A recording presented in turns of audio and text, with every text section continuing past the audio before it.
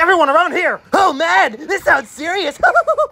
okay, so, Red, I know exactly Okay, what we have no other choice then. Wait, what is it? Me and Bomb are about to leave this town. Craig and Chuck, you stay here. Wait, but Red, it's so scary out there, you might die.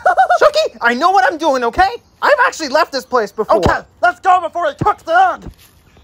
I thought this was going to be my time to shine.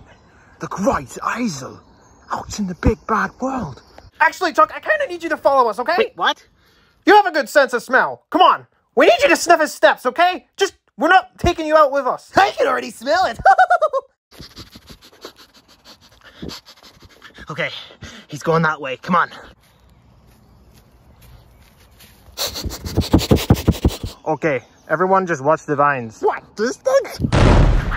Holy crap. Oh, no. He's gone in the forbidden area.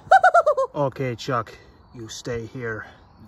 This is going to be a very dangerous mission that me and Bomb are about to go on. I know where he is. I know where his lair is. Just follow me. Well, I know the way out. I've snuck out multiple times. oh my.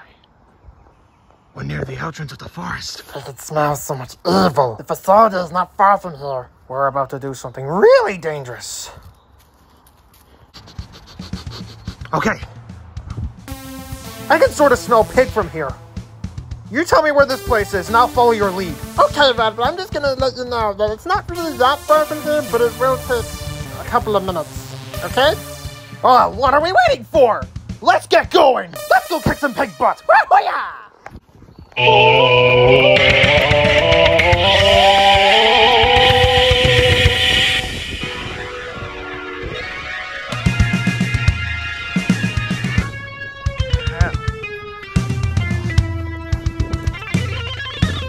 Okay, show me where this place is! Okay, just follow me! Follow my lead! We're close to it!